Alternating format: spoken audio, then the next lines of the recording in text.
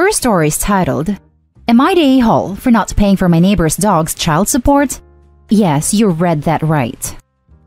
This story is going to sound ridiculous, especially with that story from yesterday about the dogs cheating, but I assure you this isn't a nest post.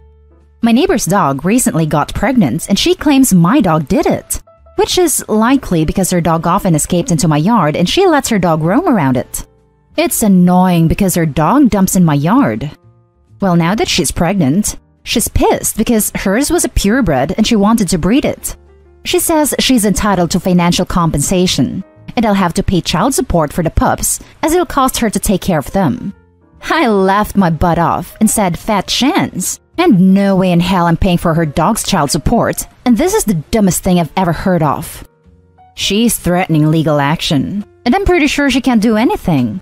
She did nothing to stop her dog from entering my yard and often encouraged it. She just assumed my dog was neutered. She can't prove my dog impregnated hers. And lastly, I don't think child support works for dogs. Now for the top comments. Not a-hole. This is looking interesting. Do you get half the profits when she sells the puppies? Exactly the deal. Opie should get it in writing. Curious if the neighbor will bring it up again. Not an a-hole. If she wanted her dog to breed with specific dogs, she should not have let it roam free. Also, what's with the was a purebred nonsense? It's not like the dog's genes are now altered. If it breeds with another purebred dog of the same race, the result will be purebred puppies. I know it's a thing in the breeding world, but it's stupid as hell. I think she's just referring to the fact that there is a maximum number of litters a female dog can have, and now one of those litters will be less profitable because they won't be purebred. She's still clearly the a-hole here, though. Everyone sucks here. It's dumb of her to demand child support for a dog, but if you don't want your dog making puppies, you should have neutered him. There are too many dogs in the world in the first place. Did you miss the part about the neighbor letting their dog roam around Opie's yard without permission? Maybe the neighbor should have had their dog fixed if they wanted to be responsible, not an a-hole. The next story is titled, Am I the a-hole for telling my nephew his presents were from me and not his dad? So, I bought Christmas presents for my nephews, 8 plus 14, and gave them to my brother since I won't be seeing them for Christmas this year. They had tags on them that said, to XXX Love and XXX. Well, the 14 year old's birthday was three days ago, so he opened one of his birthday presents from his dad, my brother. Then the 8 year old got jealous, so he let him open one of his Christmas presents for me. Then I guess he just let them both open everything. On his birthday, I asked my nephew what he got. He proceeded to tell me he got an RC helicopter, a card game, and a game for his Xbox, two of which were what I gave him. So I was confused and asked if he opened a Christmas wrapped gift.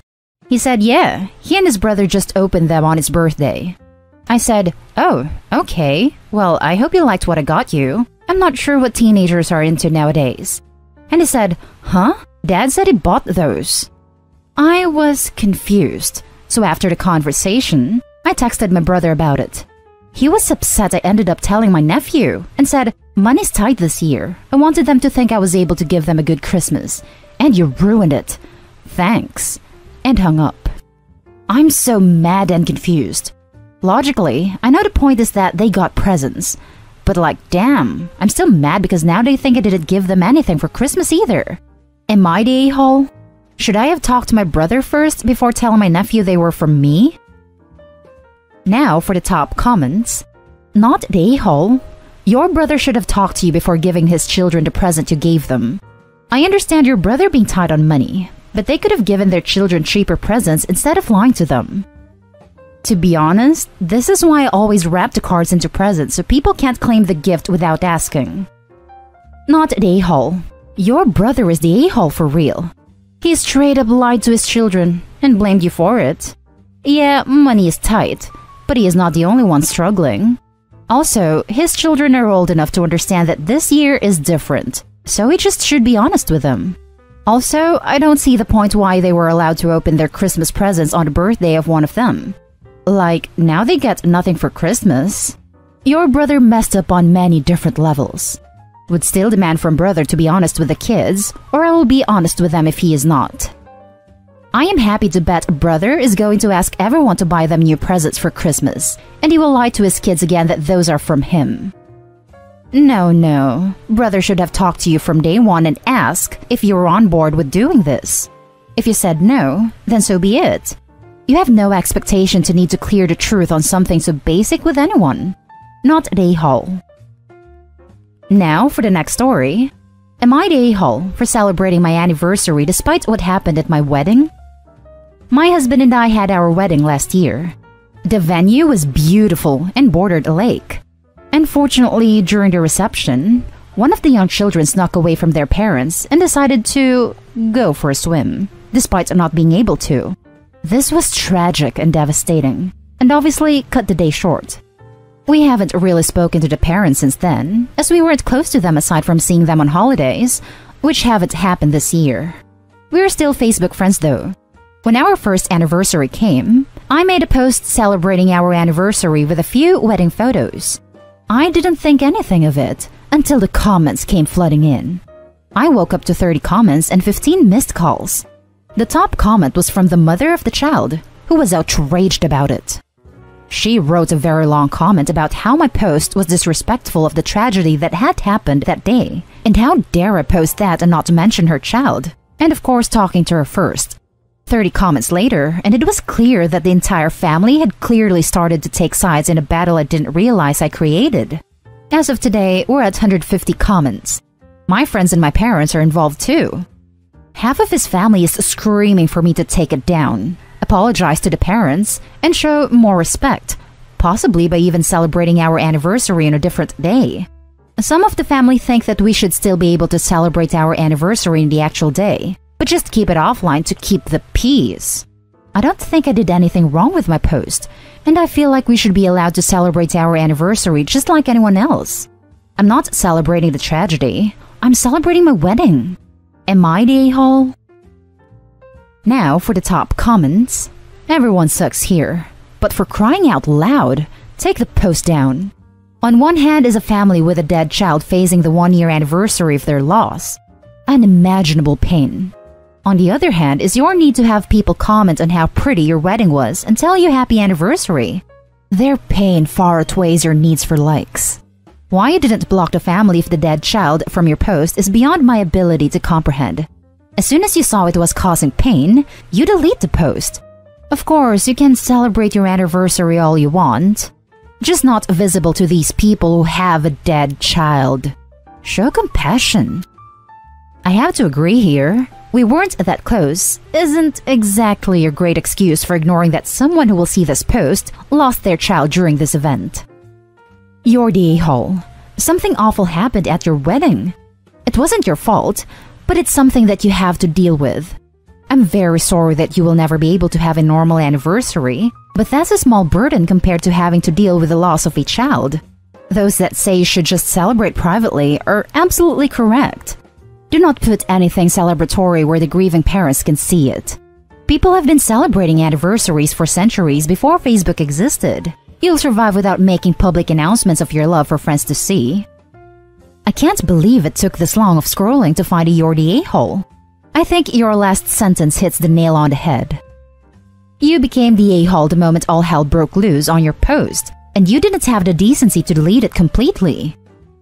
The fact that Opie cannot actually say the words, a child died at my wedding, means that they know how upsetting this is. Yet, chose to put this into the face of the grieving parents. The a-hole to the max. Edit. I have changed the post to only be visible to me and deleted all comments to try to stop the arguing. But from the email we just received, those comments were just a symptom of a larger problem.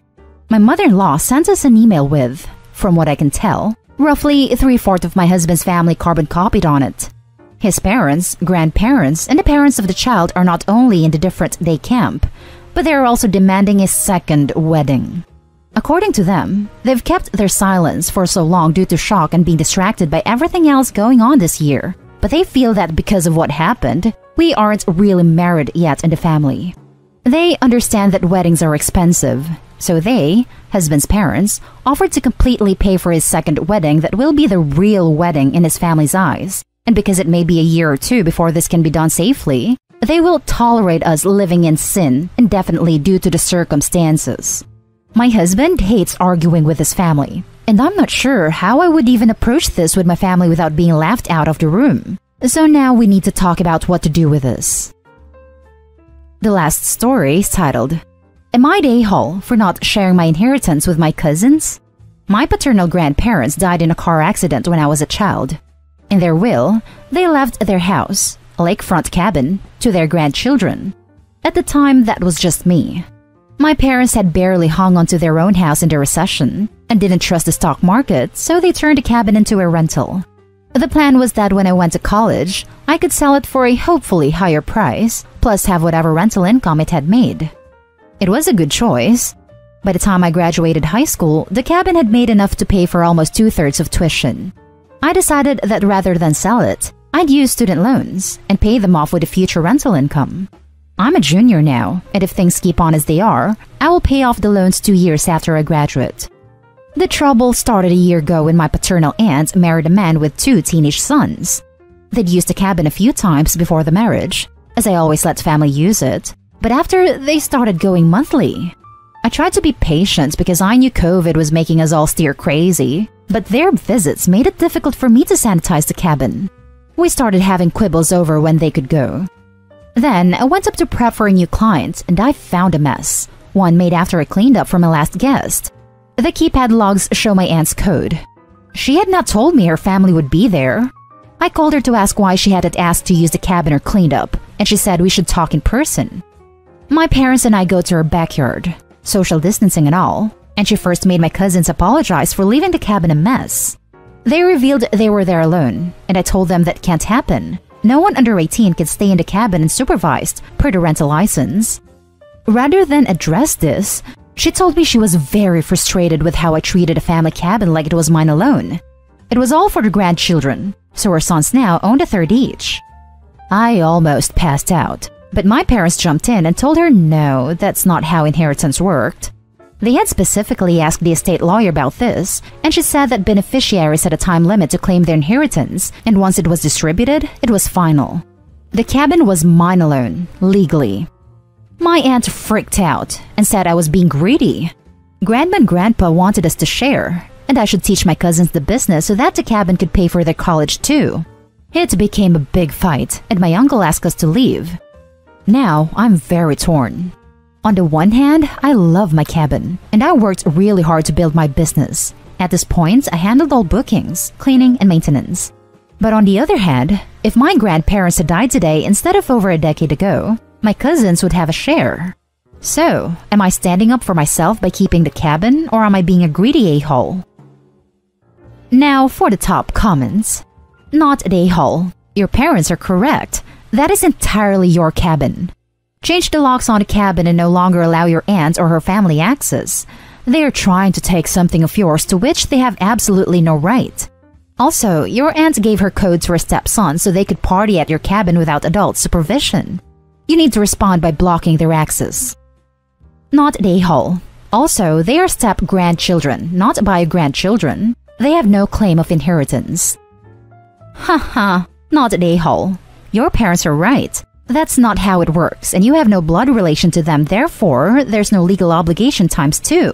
You don't even know if your grandparents would have given them any inheritance. For all you know, they could have only wanted a cabin to stay in the blood relative family. Don't give them a damn thing. Not an a-hole. Absolutely not greedy at all. Your parents are correct in stating that that's not how inheritance works, meaning it's settled at the time probate is closed. Greedy is what your new step siblings are being. Don't feel bad and just tell them, nice try. They are not familiar to your grandparents. The husband came with the kids. Would be completely different if they were your aunt's biological children. Change the code to the security system fast, or they might just move in. What if she has a baby now? Do you think I should give that child half the cabin? And that's the end of this video, folks. As always, leave a comment and hit like and subscribe. And if you want more of this content, turn your notification on to get updated on the latest videos. And I'll catch you with the next one. Stay safe.